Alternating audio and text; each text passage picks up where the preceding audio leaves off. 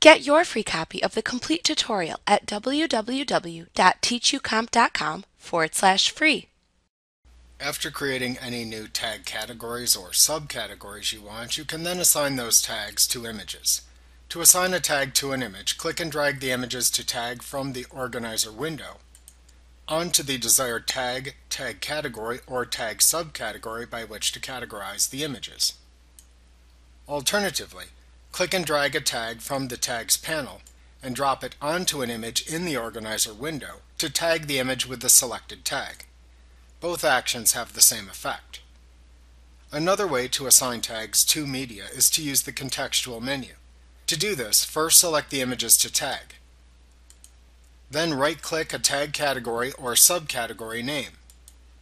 Click the Apply to Selected Media command from the contextual pop-up menu that appears to assign that tag to the selected images. Note that this contextual pop-up menu also contains commands that let you change a tag category or tag subcategory name, edit a tag category, or delete tag categories or subcategories. Ratings are another type of tag used to categorize selected media items by their quality.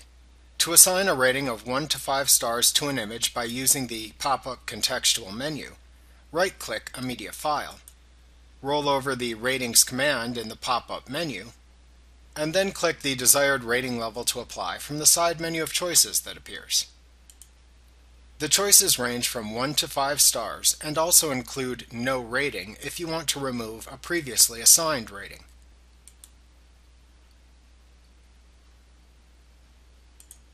After assigning ratings, you can filter for those images by clicking the desired comparison operator and then clicking the corresponding star above the Tags panel. Remember that you can switch back to All Media by clicking that button in the upper left corner of the organizer window. To let Photoshop Elements automatically display up to 500 of what it thinks are your best photos, check the Auto Curate checkbox to the right of the rating stars.